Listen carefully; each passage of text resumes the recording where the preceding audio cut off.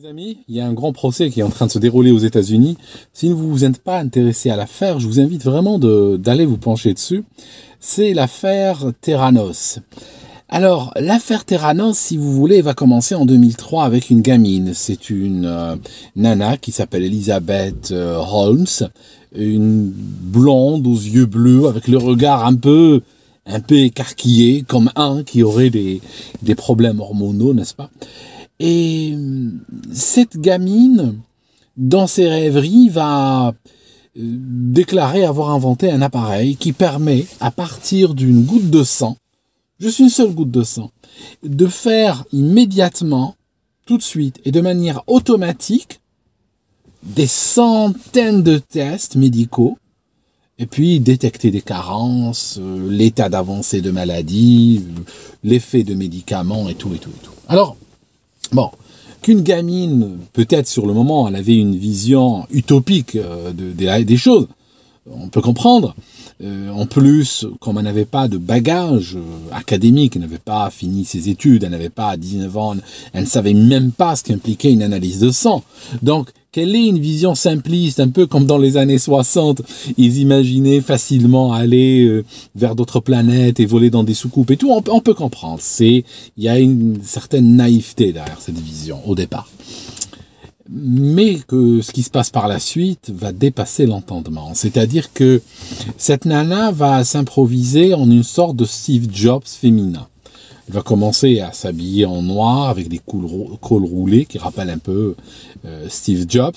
Et puis, euh, elle va même modifier le timbre de sa voix. Elle va parler d'une voix euh, caverneuse, les soins qu'on apporte à nos familles, à nos enfants et aux êtres qui nous sont les plus chers euh, sont un droit humain fondamental. Donc en fait, elle, parle, elle parle de cette voix caverneuse avec ses yeux bleus comme ça qui qui vont dans tous les sens façon périscope.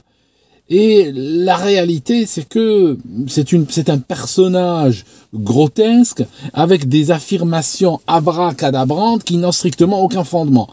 Oui, mais elle commence à attirer des investisseurs et des investisseurs et des soutiens de premier plan. Je vous parle de Henry Kissinger, je vous parle de Bill Clinton et je vous parle de personnes comme celle-ci. Il y a même à un moment donné, quand son entreprise grandit, il y a même le vice-président des États-Unis, Joe Biden, qui était le vice-président sous Obama, qui vient rendre visite, euh, visiter des labos, qui d'ailleurs étaient tous fake. Ces labos ont été créés rien que pour sa visite. Alors, euh, elle commence à signer euh, des contrats, des contrats avec des, chaînes de magasins, avec des chaînes de pharmacie, pour qu'ils achètent son appareil et que les gens puissent venir prendre une goutte de sang et puis se tester et savoir ce qu'ils ont et ce qu'ils n'ont pas. Alors, euh, l'histoire prend des proportions énormes quand en 2014, euh, Terranos, donc sa compagnie, devient la première start-up créée par une femme à dépasser le milliard de dollars de valorisation. Un milliard. Les grands titres, euh, les unes de Forbes, les, célébrités qui, s'associent à la compagnie, les politiques et tout ça, ça allait aussi dans leur sens, hein, parce que voilà, on a une femme, hein, le, côté femme c'est important, on a un côté une femme euh, qui a réussi, on a aussi, vous savez, la santé publique, euh, la santé euh, c'est très important pour chacun de nous, n'est-ce pas? Quand on est malade ou qu'un de nos proches est malade, on est, on est légitimement inquiet, on est prêt à tout donner pour, pour le voir aller mieux. Euh, correspondent aussi à, à, ces espérances et à ces peurs de santé publique, correspondent aussi des prélèvements, correspondent des primes d'assurance, et ceci va correspondre à une manne d'argent énorme. Et de tout temps, cette manne a été l'objet de toutes les convoitises. Euh, Terranos, une compagnie parmi tant d'autres, qui surfe, qui a voulu surfer justement sur les attentes légitimes des gens, pour essayer donc d'enrichir un groupe de personnes. Alors, euh, je disais que chez Terranos, l'ambiance commençait à tourner à la secte. Il y a ces portes battantes qui permettent assez facilement de passer entre la médecine au culte. Et quand vous allez vers les hommes euh, politiques, les puissants, vous allez voir que très souvent, ils nourrissent des, ils nourrissent des attitudes sectaires.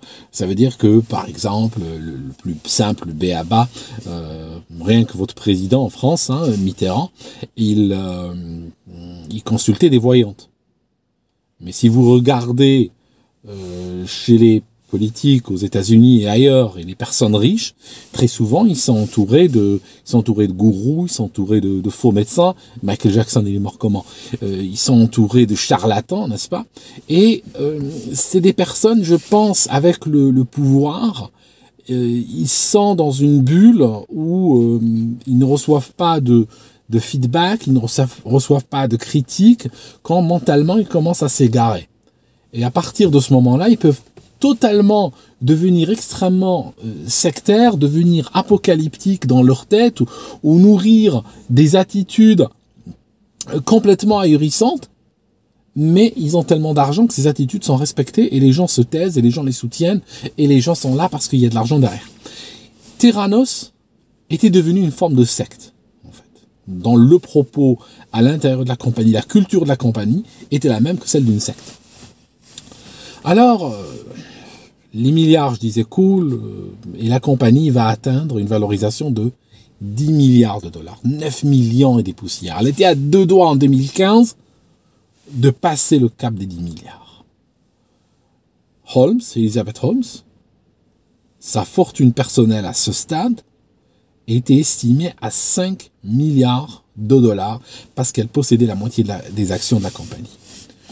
Alors, euh, c'est à ce moment-là, en 2015, que les soucis vont commencer. Ça veut dire que des voix vont commencer à se délier. Des gens vont commencer à parler.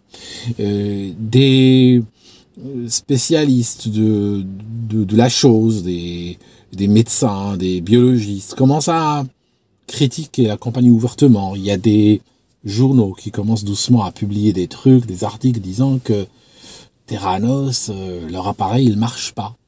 Euh, Terranos achète des appareils d'analyse de, sang classiques et, les utilise en cachette pour analyser des échantillons de sang. Et Terranos n'a jamais publié d'articles scientifiques validés par des pairs. On arrive même à un moment donné où leur chef euh, scientifique, un Britannique, va se suicider parce qu'il est convoqué devant la justice. Ce qu'il va faire, c'est qu'il va se soustraire à la justice en se suicidant. Sa femme, elle écrit à la responsable de Terranos qui lui répond pas. Et deux jours plus tard, c'est l'avocat de la compagnie qui écrit à la veuve pour lui dire euh, rendez immédiatement les propriétés, le laptop, l'ordinateur portable, le téléphone et tous les documents propriétés de Terranos immédiatement. Donc, vous voyez le genre de, de compagnie que c'est. Et très rapidement, ça fait boule de neige et il y a tout l'empire, pratiquement du jour au lendemain, il y a tout l'empire qui s'effondre. Ça veut dire que Terranos passe de cette compagnie qui faisait les unes, qui était soutenue par les plus grands de ce monde, pour vous dire que les plus grands de ce monde ne sont pas à l'abri d'illusions ou de désillusions, ne sont pas à l'abri de charlatans, ne sont pas à l'abri de sombrer dans des mouvements sectaires, ne sont pas à l'abri de l'appât du gain. Et en fait, cette compagnie collapse complètement. La fortune d'Elizabeth Holmes passe de 5 milliards de dollars à zéro littéralement en un week-end. La boîte commence à liquider, la justice s'y intéresse, et c'est là qu'Elizabeth Holmes est arrêtée. Alors, euh, bien sûr, elle a un catalogue de fraudes énormes qu'elle a commises, il y a la fraude liée à l'argent parce qu'elle n'était pas sans savoir que son appareil n'existait que dans son imagination. Son appareil ne marchait pas, il n'existait pas, il n'a jamais fonctionné. Donc tout ce qu'elle a fait miroiter, tout ce qu'elle a créé autour de sa compagnie comme, comme, comme imagerie, c'était du fake. Sa voix, même sa voix grave, était fake. Euh, tout ce qui était autour d'elle était faux. Et en plus, et ça c'est quand même beaucoup plus tragique, beaucoup plus dramatique, c'est que beaucoup de gens ont été trompés sur des analyses de sang.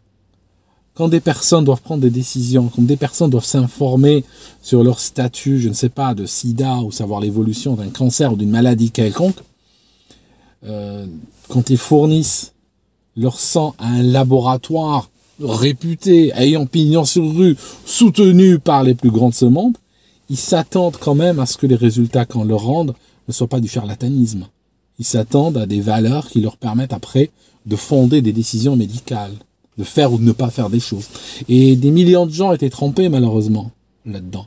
Donc probablement il y a des vies humaines qui ont été, euh, qui ont été euh, perdues dans, dans, cette, euh, dans cette histoire. En tout cas, 2022, début janvier 2022, le tribunal décide qu'Elizabeth Holmes est coupable. Donc voilà. Après, ils vont passer une phase de sentence. Elle va peut-être prendre, je ne sais pas, on, le saura, je vous le dirai, elle va peut-être prendre 20 ans, 30 ans, je ne sais pas. Euh, en tout cas, aujourd'hui, elle est à la veille de la quarantaine euh, et elle risque plusieurs décennies de prison. Voilà, c'est une affaire très importante. Euh, je voulais vous en parler parce qu'elle illustre un petit peu cette, culture qu'il y a malheureusement en marge ou dans ou dans le cœur du système, de système médical il y a beaucoup de profits, il y a beaucoup d'argent à se faire, il y a beaucoup de, de, voraces et beaucoup de personnes sans foi ni loi qui sont prêtes à tout. Comme cette Holmes et, son mec aussi qui a été également déclaré coupable. D'ailleurs, elle est en train de se, elle est en train, euh, elle voulait les charger, lui veut la charger. Ils sont en train de s'entretuer littéralement avec chacun disant que c'est l'autre qui est coupable, que lui n'a rien fait. Voilà. En tout cas, Merci mes amis d'avoir suivi cette vidéo jusque-là et je vous enjoins vraiment de vous intéresser à l'affaire Terranos parce qu'elle est extrêmement révélatrice. Elle ne date pas euh, de 1814 mais elle date vraiment d'aujourd'hui. Euh, la compagnie a atteint les milliards en 2014 comme je vous disais et le verdict du procès vient de tomber il y a quelques jours en 2022. À très bientôt mes amis, on se voit une autre fois.